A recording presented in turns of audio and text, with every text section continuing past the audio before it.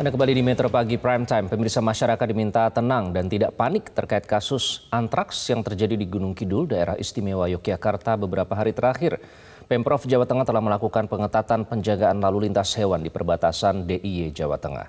Hal ini diungkapkan oleh Gubernur Jawa Tengah Ganjar Pranowo usai meninjau vaksinasi antraks untuk sapi milik warga Desa Karanganyar, Kabupaten Sukoharjo, yang merupakan berbatasan langsung dengan Gunung Kidul.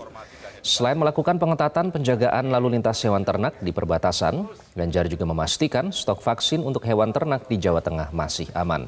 Dirinya menghimbau warga yang memiliki hewan ternak untuk segera melapor jika menemukan gejala-gejala penyakit antraks yang menjangkiti hewan ternak.